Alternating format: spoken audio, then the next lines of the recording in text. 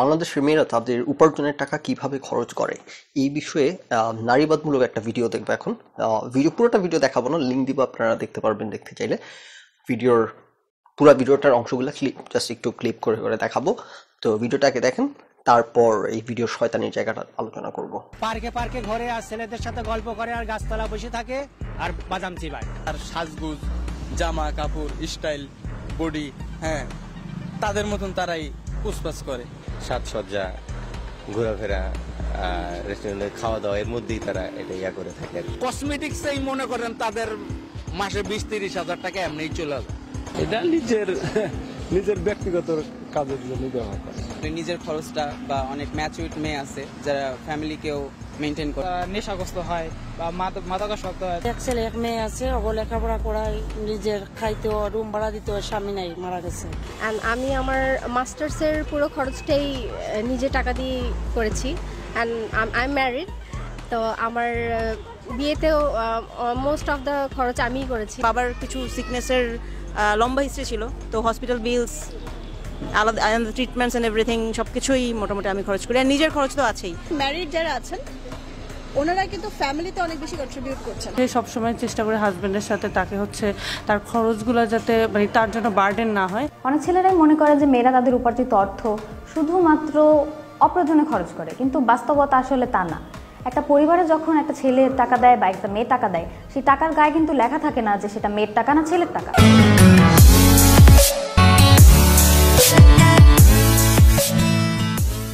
এখন এই ভিডিও শয়তানিটা কোথায় সেটা কি বুঝতে পারছেন? যদি না বোঝার সমস্যা নাই, আমি আছি বোঝানোর জন্য। এইখানে যে ব্যাপারটা হচ্ছে যে এই সমস্যাটা মানে মূলত যে বাদ সেটা নারীবাদ হোক, পুরুষ বাদ হোক, যেই বাদই হোক, এদের মধ্যে যে একটা হিপোক্রেসি এবং একটা শয়তানি এবং একটা অহেতুক ঝগড়া লাগানোর টেন্ডেন্সি এবং মিথ্যা ভাব- ভাবে, ভুয়া ভাবে অসত্যভাবে জিনিসপত্র উপস্থাপন করার টেন্ডেন্সি সেটা এখন এখান থেকে আমরা দেখব। কিন্তু যে জিনিসটা এখানে দেখানো হচ্ছে সেটা কি অসত্য? সেটা কি কোনো ভিত্তি নাই এই দাবিটার যে মেয়েরা টাকা পয়সা যেভাবে কীভাবে খরচ করে বা এটা নিয়ে পুরুষদের সমালোচনা আনফাউন্ডেড কথাবার্তা বলা, এটা এরকম কোনো ব্যাপার কি নাই? এমন বাস্তবতা কি বিরাজ করে না? আমি কি সেটা বলতেছি? আমি সেটা বলতেছি না। এমন বাস্তবতা আছে, এমন বাস্তবতা বিরাজ করে, সেটা নিয়ে আমরা কথা বলব। কিন্তু সেই বাস্তবতাটাকে উপস্থাপন করার জন্য, সেই বাস্তবতাটাকে দেখানোর জন্যে মিথ্যা কথা বলা, শয়তানি করার তো কোনো দরকার নাই। দুই নাম্বারই ধান্দাবাজি, ফাত্রা আচরণ করার তো কোনো দরকার নাই। সো ফাত্রা আচরণের জায়গাটা কোথায় সেটা দেখেন। যে মেয়েরা টাকা কীভাবে খরচ করে, এই যে প্রশ্নটা করা হয়েছে কাদেরকে? সমাজের কোন শ্রেণির কাছে? প্রত্যেকটা মানুষ যাদের কাছে জিজ্ঞেস করা হয়েছে, দেখবেন প্রত্যেকে আপনি দেখলেই তো বোঝা যায় কথা শুনলে এবং অ্যাপিয়ারেন্স থেকে। এরা সমাজের কোন শ্রেণীতে বিলং করে? একজন রিক্সাওয়ালা আরেকজন মনে হইল দোকানদার, আরেকজন মনে হইল মানে এরকম আপনি ইয়ে করেন, প্রত্যেকে হয়তো একদম সমাজের নিচু শ্রেণির। একটা ছেলে দেখে একটু মনে হলো হয়তো স্টুডেন্ট এবং সে কিন্তু খুব সুন্দর একটা অ্যান্সার করছে। একটা ছেলে মনে হয়েছে স্টুডেন্ট সেই কিন্তু একটা সুন্দর অ্যান্সার করছে। আর বাকি যারা সবাই সমাজের নিম্ন শ্রেণির, তারা তাদের মতো যেরকম এক্সপেক্টেড উত্তর করা সেরকম করছে। নাও যিনি প্রশ্ন করছেন, উনি তো জানেন। কারণ আপনি যখন ভিডিওটা দেখবেন, আপনার মাথায় কিন্তু এত কিছু ক্যাচ করবে না। মানে এত ডিটেলসে কাকে প্রশ্ন করা হইতেছে, তার কাছ থেকে কি উত্তর- আপনি জাস্ট দেখে যাবেন এবং দেখবেন যে একশো পার্সেন্ট মানুষ এই ধরনের উত্তর করছে, এবং জিনিসটা আপনার মনে একটা ইমপ্রেশন ফেলবে। সে যখন ভিডিও করছে একজন যখন ভিডিও মেক করা হয় যে কারণে আপনার ধরেন আমাদের মিডিয়া যেভাবে করে গত কয়েক বছর ধরে তরুণদের মধ্যে মুক্তিযুদ্ধের চেতনা জাগরুক করছে, আমি আমার ওয়াইফকে সবসময় বলি সেই মুভিটি দেখে যখন আবেগ আপ্লুত হওয়ার, হয়ে যাইতে নেয় বা কোনো কিছু করে ডিসাইড করতে না এগুলো যেগুলো দেখে কখনোই ডিসাইড করবে না, এগুলো দেখে কখনো ডিসিশনে যাবা না, কারণ এইগুলো পুরোপুরি উদ্দেশ্যমূলকভাবে মানুষকে ম্যানিপুলেট করার জন্য করা হয়। যেমন এই ভিডিওটাতে যখন ইন্টারভিউ নেওয়া হয়েছে, ধরেন যে বিশ জনকে জিজ্ঞেস করা হয়েছে, বিশ জনের মধ্যে দশজন খুব সুন্দর উত্তর দিছে যে, মেয়েরা না টাকা পয়সা সংসারের পেছনে খরচ করে খুব আর দশজন বলছে যে না, এরা মেকআপ লাগায়। যে দশজন বলছে সুন্দর করে টাকা পয়সা খরচ করে, সংসারের পেছনে খরচ করবে, এমন কিছু বলছে, এদের উত্তরটা কিন্তু দেখাবে না। কারণ যে ভিডিও বানাইছে, এর একটা টার্গেট আছে। যে এখানে এভাবে পুরুষদেরকে এইভাবে উপস্থাপন করা হবে। এগেন আমি যেটা বলতেছি যে এই উপস্থাপনার যেই মেসেজটা এটা মিথ্যা না, এইভাবে মানুষ কথা বলে, এরকম চিন্তা ভাবনা ধারণ করে আসছে সেটা সেখানে সমস্যা না। সমস্যা হচ্ছে, তারা একটা এজেন্ডা নিয়ে নামে, সেভাবে উদ্দেশ্যমূলকভাবে, এমনভাবে। জিনিসটাকে ডিজাইন করে। সো কাজে নামার আগে তাদের টার্গেট থাকে যে আমি এটা করতে চাই এবং সেটা করার জন্য যা যা করণীয় যেভাবে করণীয় সেভাবে করব। তার সেই প্রশ্নের উত্তর যতদিন দিবে ভিডিওতে, শুধু শুধু তাদের উত্তরটাই দেখানো হবে। যারা উত্তর দিবে না, ভালো কিছু বলবে, সে তো সে খারাপ কিছু দেখাতে দশজন ভালো বলছে, দশজন খারাপ বলছে। ভালোগুলো ডিসকার্ড করে দিয়ে শুধু খারাপগুলো দেখাবে। এগুলো মিডিয়া শয়তানি যারা জানেন, যারা এইসবের সাথে জড়িত বা অভিজ্ঞতা হয়েছে টুকটাক, দেখছেন, তারা এগুলো জানেন এগুলা। অথবা বেশি কমন সেন্স থাকলেও বোঝা যায়, কিন্তু কমন সেন্সে যেহেতু আমাদের ঘাটতি আছে, আর কমন সেন্স তো আমাদের তৈরি হয় অভিজ্ঞতা থেকে। সো অভিজ্ঞতা না থাকলে কমন সেন্স তৈরি হওয়ার সুযোগ ইন দ্য ফার্স্ট প্লেস সবার ক্ষেত্রে হয়তো নাই। আমি একবার চ্যানেল ওয়ানের একটা অনুষ্ঠানে গেছিলাম, তখন ইউনিভার্সিটি সেকেন্ড ইয়ারে পড়ি ইয়াংদের নিয়ে একটা অনুষ্ঠান। তো সেই অনুষ্ঠানে হইতেছে, এখন মিডিয়ার তো একটা ন্যারেটিভ আছে ন্যারেটিভের বাইরে কিন্তু আপনি কথা বললে প্ল্যাটফর্ম পাবেন না। সেই অনুষ্ঠানে হইতেছে এরকম যে মেয়েরা হইতেছে, অবা, ঘোরাঘুরির ব্যাপার, অবাধ ঘোরাঘুরি করতে পারে না বাবা মা শাসন করে, ছেলেদেরকে তো শাসন করে না। এইটা হইতেছে টপিক নারীবাদমূলক আর কি প্রোগ্রাম টিভিতে তার পুরুষবাদমূলক প্রোগ্রাম হবে না, নারীবাদমূলক প্রোগ্রাম সেখানে আমার ফ্রেন্ড যারা ছিল এবং যারা আলোচক ছিল সবাই হইতেছে নারীবাদী কথাবার্তা ব্যাশিং পুরুষ ব্যাশিং আমি পুরো প্রোগ্রামে সবচেয়ে বেশি কথা আমি বলছি রাইট বেশিরভাগ কথা যেহেতু সবাই এখানে নারীবাদগুলোর কথা বলতেছিল এবং পুরুষ ব্যাশিং চলতেছিল এবং আনজাস্টিফাইড ওয়েতে চলতেছিল এবং আনডিগনিফাইড ওয়েতে চলতেছিল সো বেসিক্যালি আমি বেশিরভাগ ক্ষেত্রে অনেকটা কাউন্টার আর্গুর মতোই করতে হয়েছে। আমি সেখানে নানান কথাবার্তা বলছি বলছি যে দেখেন, এটা তো বাংলাদেশের সামাজিক প্রেক্ষাপটের কারণে এরকম হয় যে মেয়েরা নিরাপদ ফিল করে না বাবা মা মেয়েদেরকে রাতে সন্ধ্যার পর বাইরে থাকতে দিলে। এই কারণে একটা মেয়েকে সন্ধ্যার পর বাসায় ফিরে আসতে বলে, একটা ছেলেকে বলে না। কিন্তু আবার একটা ছেলেকে টাকা দেওয়ার সময়, মেয়েকে হাতে টাকা দেওয়ার সময় হাত খরচের বাবা মা কিন্তু অত চিন্তাও করে না, অত মাথাও ঘামায় না যে সে গাঁজা খাবে কিনা। কারণ জানে মেয়ে গাঁজা খাবে না।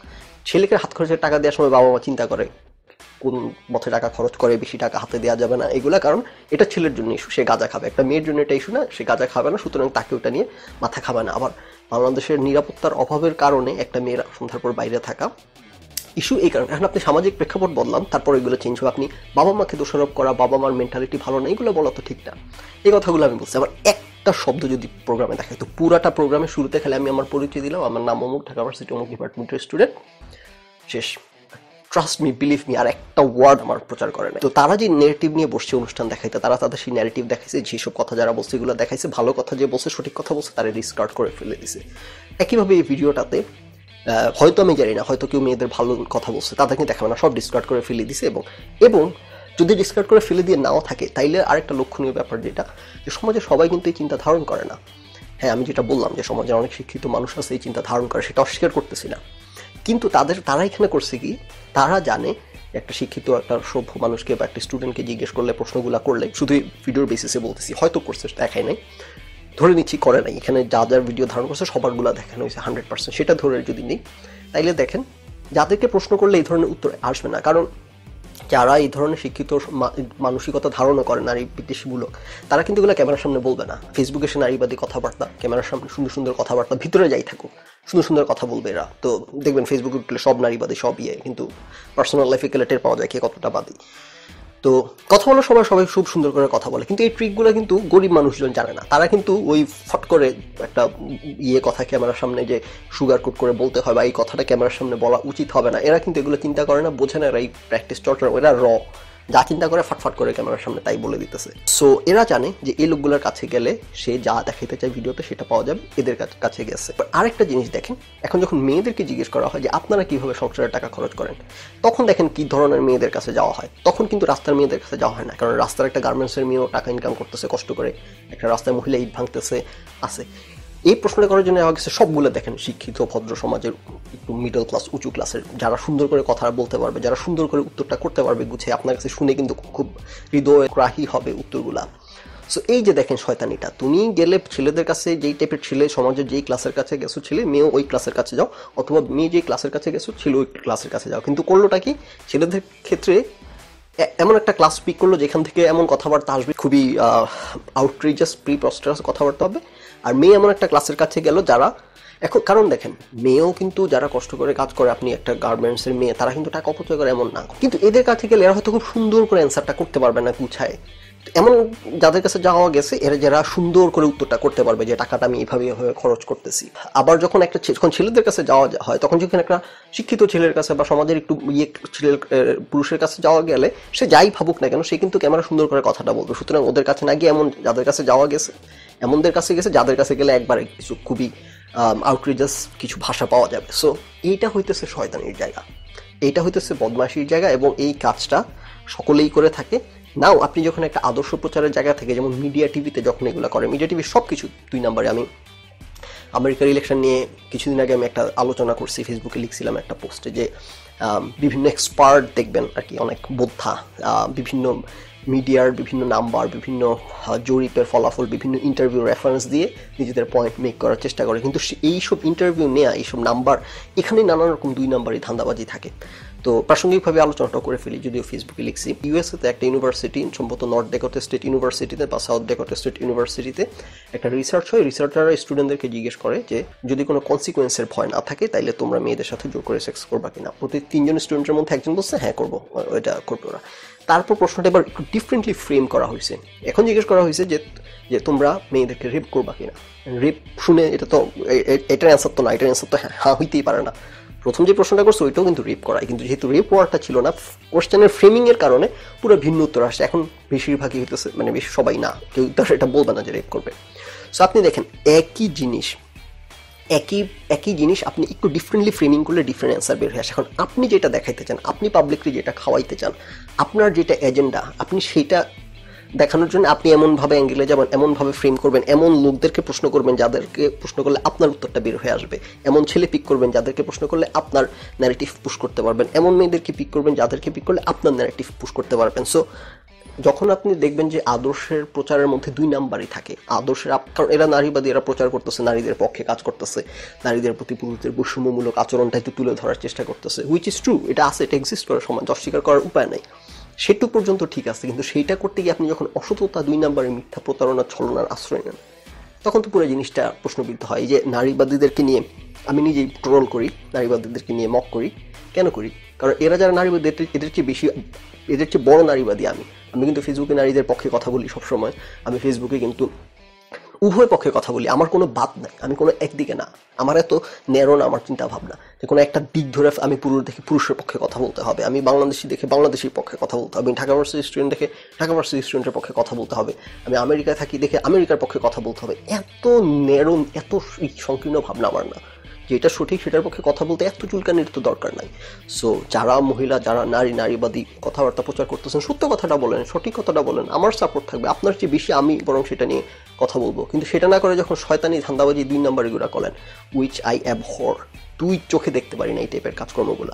এবং যে কারণে আলটিমেটলি ট্রল করতে হয়। ভিডিওটা শেয়ার হয়েছে আমার ওয়ালে কিন্তু কথা বলতাম না, যখন দেখলাম যে বেশ অনেকটা ভাইরাল বলা যেতে পারে, প্রচুর লাইক কমেন্ট শেয়ার তখন মনে হলো যে এই সমাজের এই শয়তানি বাস্তবতাগুলো মানুষের সামনে তুলে ধরা দরকার।